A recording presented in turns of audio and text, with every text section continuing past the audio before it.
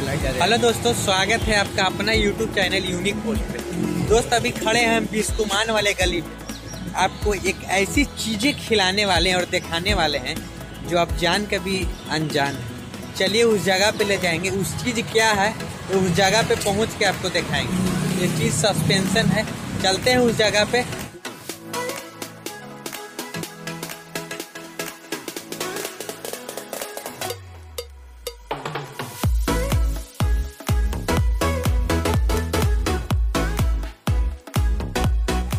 दोस्तों, जो जगह पे पहुँचने वाले थे हम लोग फाइनली उस जगह पे पहुँच चुके हैं।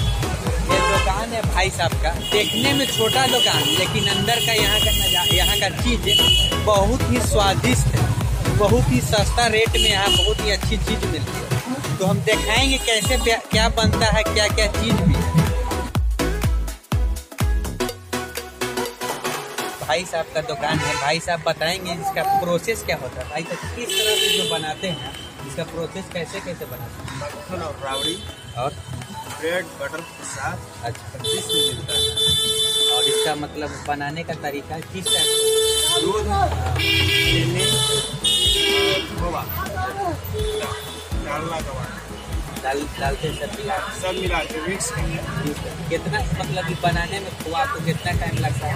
डेढ़ घंटा डेढ़ घंटा में इनका खोआ तैयार होता है और का है। देखने में छोटा दुकान है लेकिन यहाँ का स्वादिष्ट आप देखिएगा बहुत ही लाभदायक है।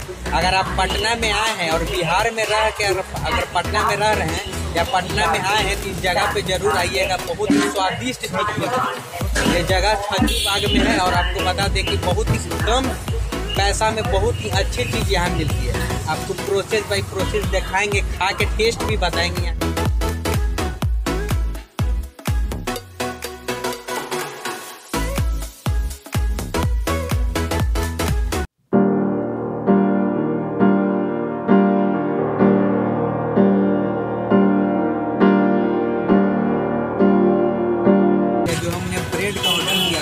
था ये बन के तैयार हो गया देखिएगा अंदर, मलाई है। इसका टेस्ट करके आपको बताते हैं कैसा है।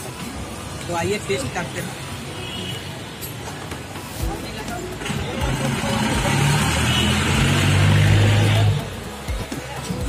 बहुत ही यूनिक और बहुत ही टेस्टी चीज़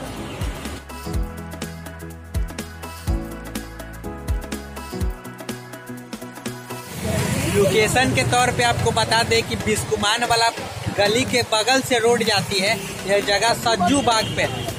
तो अगर वीडियो अच्छा लगे तो आप लाइक कीजिए, शेयर कीजिए, सब्सक्राइब कीजिए और बेल आइकन बजाना ना भूलें, जिससे कि आगे की अपडेट आपको मिलती रहेगी। धन्यवाद।